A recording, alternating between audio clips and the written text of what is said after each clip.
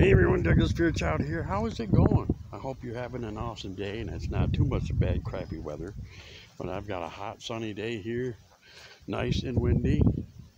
I see these cars every single day because I live here. But I thought, man, it'd be an awesome video to show them to you.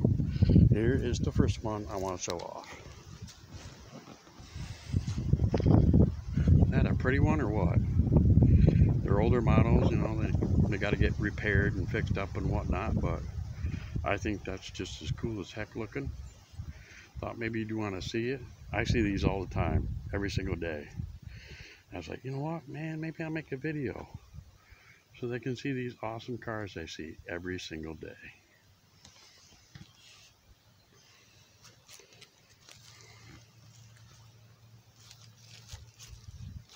I think that's just beautiful.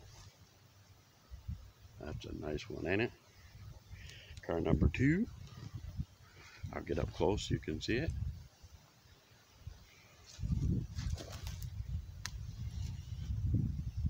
Look at that beauty. Isn't that a beautiful car? That's just beautiful, ain't it? Look at that.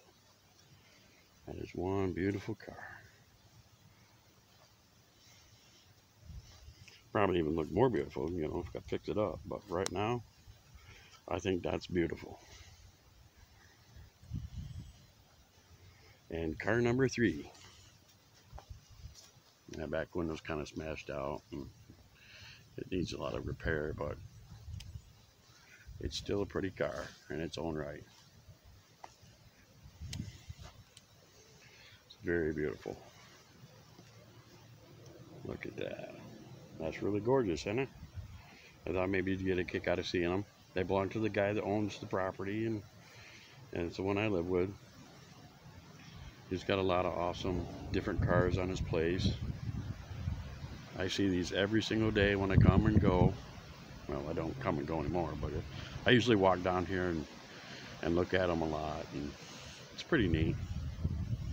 I thought maybe you'd like to get a nice look at them. They're freaking awesome, ain't they? I like them. He's got like a few, a few more of them up close to the house, and I'll make a different video for those.